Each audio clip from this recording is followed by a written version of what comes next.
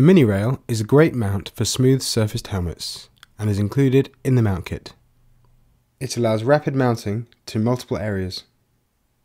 It is supplied with an adhesive patch and a hook and loop patch. Attach the base to your chosen adhesive, then add to the helmet and press firmly. This mount comes fully assembled. Insert the camera into the clamp and pinch the wings on either side of the mount to add or remove the camera. Thanks for watching.